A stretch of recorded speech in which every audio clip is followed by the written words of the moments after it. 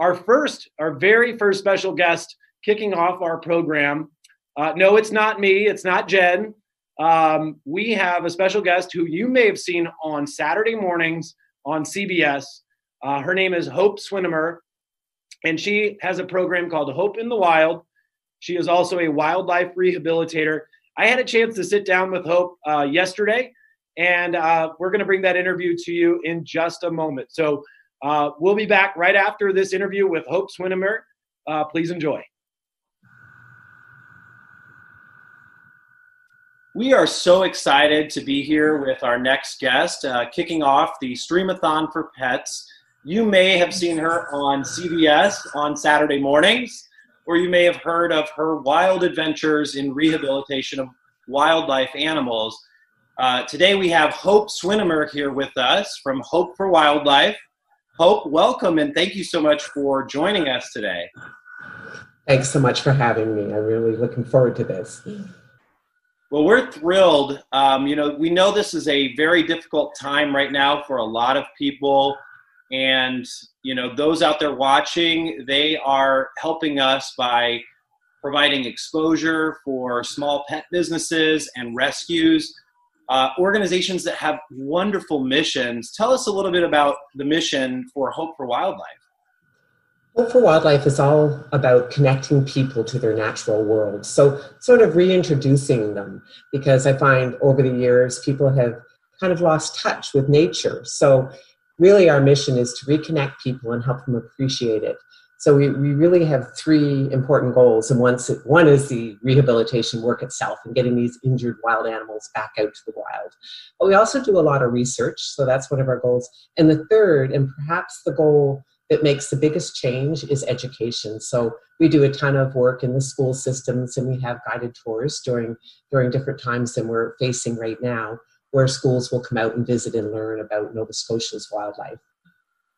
So highlight some of the differences uh, for our viewers of wildlife in Nova Scotia versus the United States, where most people are tuning in. I know. I bet there's a lot of differences. I know you have opossums, I believe. We don't have those in Nova Scotia, but we do have some very interesting wildlife here. We have lots of birds of prey, which I'm sure you, you are familiar with. We have black bears, um, deer, we have uh, lots of raccoons and porcupines and skunks and foxes, and then all the smaller type rodents like groundhogs and squirrels and all that kind of thing. So a very a very big variety. We can see up to 250 different species uh, each and every year, and we get about 4,500 different animals that come into our facility each year. Wow, that's a that's a lot to manage. So, how many people on staff for you? I remember when I started, you know, we hardly had any paid people. It was all volunteer. But as time goes on and you progress, um, we've got about six full time year round staff. So it's still very, very small. But thank heavens for the wonderful volunteers. If it wasn't for them to keep keep us glued together, I don't know what we'd do without them. But and we also have a program where we have interns come in and they're all arriving this weekend. So we're pretty excited about that. So we have interns that sign up for a 16 week stay with us through the summer and they get to do a lot of really interesting work. Um, we have a full time veterinarian right here on site and a veterinary hospital.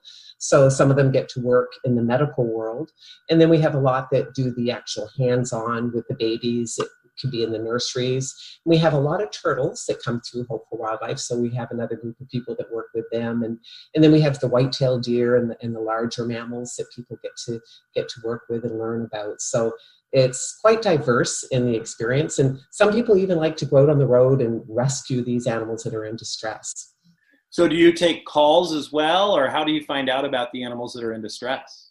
Exactly. For our province, from end to end, it probably would take at least 10 hours to drive from end to end. It's not a very big province, but we take wildlife from all of Nova Scotia. So it from, could be from the tip of Cape Breton right down to Yarmouth, which is on the on the south southern end of the province. So it covers a lot of area. We do take we we sometimes have two or three people manning the phones in the busy summer days. We can get up to 100 calls a day.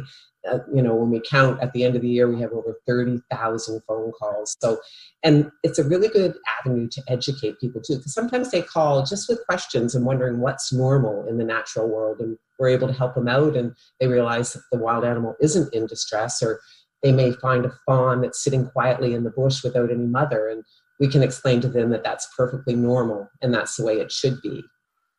Yeah, and you know, one thing that is interesting, um, and maybe one of the few positives, and we'll talk about the negatives uh, or, or the impact that the pandemic has had on um, rescue organizations like yourself. But you know, one of the positives that we've seen, and I'm wondering if you're seeing the same thing in Nova Scotia, that with people under stay-at-home orders and not being out and about as much, we're seeing wildlife reemerge uh, in and sort of taking claim of, of land that was once theirs. Have you experienced the same thing, or have you heard um, about this sort of phenomenon? Absolutely, and it is interesting. And we as rehabbers wonder what kind of effect it will have on our season if people are at home more and they're they're not out and about on the roads there's probably going to be less hit by cars and that's one of the main reasons we get wildlife in but we're also seeing the other side of the coin where people are into gardening and landscaping, so they're out, you know, uh, cutting down things and finding little nests of babies. So, you know, it's important that if you're going to be enjoying your backyard, you do a good walkabout first to make sure that you're not going to be disturbing a nest or something that you didn't even realize was there. So it is a good opportunity to check things out. Um, we're also receiving calls because people are staying home more they might only use their car once a week now and they don't think to check under the hood but little squirrels might have decided to nest inside your inside your car. It happens more than you think. So different kinds of wildlife issues with the pandemic. So it's it's really interesting to see it's going to be interesting to see what the season is like yeah, as we're able to reemerge from this, uh, you know, obviously everyone's watching the the fallout and the impact it's having on businesses. You know, that's really why we're doing the Streamathon for Pets. It's to raise money for these small and independent businesses and these rescue organizations, uh, even like yourself. I mean, I know you get a lot of funding um, every year, but how is this impacting you from a rescue level and an organizational perspective? It's it's really difficult. We're not government funded at all, as most wildlife facilities aren't. So it's that twenty dollar donation someone might give you when they drop off an injured wild animal. And we used to do a lot of our fundraising through our education work. And sadly, we aren't we aren't able to do it in the same way. And we have been doing some streaming uh, to educate people about some of the issues they may come across. But it's not quite the same, but it is making a difference. I think it's amazing what you're doing and to help all the businesses out there that we all have the same interests. We all care about living things. And it's really what it's all about and a chance for everybody to come to be- together and take part in that. I think it's really wonderful.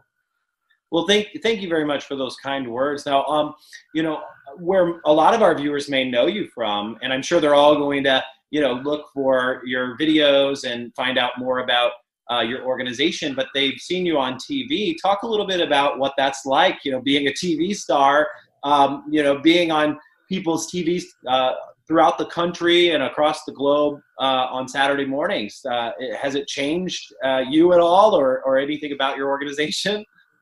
Well, it's funny because, you know, I, I don't even stop and think that people might recognize me when I go out into public. And so from that way, it, it really hasn't changed me personally at all it has helped um, with funding, obviously, for the Hope for Wildlife because it's brought awareness uh, to, you know, a lot of people didn't even know wildlife rehabilitation facilities existed until they started watching the show. And it, I had a lot of calls and people would say, you know, I called around locally where I live and found out that there was a rehab right in my own backyard. And I think that's so great. And, you know, that's one of the really good things that have come out of the show. It's let people know that there's lots of rehabbers out there. There's lots you can do to help them. Just pick up the phone, find a local one. The other really interesting thing that I love about the show is that it's it's brought children um, into the wild world. And it's helped them appreciate it, recognize it, maybe be more aware of what's what the proper way to, to handle wildlife situations are. So I think that's one of the truly wonderful things that's come out of the TV show, and it will go. It's in its tenth year now, and oh my gosh, congratulations! So, that's amazing. Yeah, it's a long time, but it's very little work. Um, the there's only one cameraman and usually one other person that come out, and they're very careful and they care deeply about the animals. And you know if if an animal is showing any signs of stress they they will back off immediately. So it's been this wonderful relationship for 10 long years and we've gotten to know the the cameramen and and you know they're part of our group now. They could they could answer our wildlife calls because they know the commonly asked questions and the proper answers to them more volunteers for the organization right? Yes. Now how can someone you've mentioned interns you've mentioned volunteers you've mentioned that a lot of your funding is from personal donations. How can people find out more information about hope for wildlife other than tuning into your show? Absolutely. We have a very active Facebook page and our website, hopeforwildlife.net. It takes you right to the Facebook page and do do go in and look around and you'll kind of see what we're up to at any given time. And you know, like everybody else, we're we're trying to educate, show people what's happening in our charity. And of course, you're always trying to get enough dollars ahead to make ends meet for sure. Well, awesome. Well, Hope, we are so pleased to have you here. For our viewers just joining us, that we're with Hope Swinimer from Hope for Wildlife. You can catch her on Saturday mornings on CBS, um, or check her out. Uh, check out the rescue. And uh, before we go, I did want to ask you: Is there maybe a favorite rescue, or like a diciest rescue uh, rehabilitation that you can share with our viewers? Uh, they're all so wonderful and they all speak to you in a different way and they bring out emotions and thought processes. I think the rescue that that comes to mind that I remember the, the most was at the very beginning of Hope for Wildlife. And I was home one night and there was a knock on the door and a couple arrived and they just dropped this bucket on my front steps with a cover on it. And, you know, and then they just left. They didn't tell me. They just said it couldn't keep up with the rest of the family and they dropped it. And so I, I was a little nervous and I open the lid and I look inside and I'll always remember this baby otter looking up at me with those that big face, oh tiny little body. Um, and it was the first otter I'd ever had the joy of rehabilitating. And it just taught me so much about nature and so much about natural instinct um, it was truly a journey and it takes a long time to rehabilitate an otter up to 18 months so we were able we were very lucky we live on a beautiful lake and we were, we were able to do a soft release but that came with issues too so it was it was all in all it had a very happy ending so it was it was a great journey for me and the otter well, and we're so thankful that that really jump started your journey in wildlife rehabilitation uh, I'm sure the numbers are through the roof. The wildlife community is better for uh, having you involved in it. In it. Um, and we truly thank you from the bottom of our hearts for joining us today and taking some time from what it sounds like is going to be a very busy weekend for you. It is. And good luck with your mission. I think it's amazing. Anything else that you'd like to share with our viewers before we go? Uh, no, just just remember that all living things. It's all about getting people to open their hearts and their mind to living things and treating them with respect and caring. Well, I couldn't have said it better myself. Hope, thank you for helping kick off the Streamathon for Pets. That was Hope Swinimer with Hope for Wildlife. And again, don't miss her on Saturday mornings on CBS. Thank you so much, Hope. Once again, we really appreciate it. Thank you.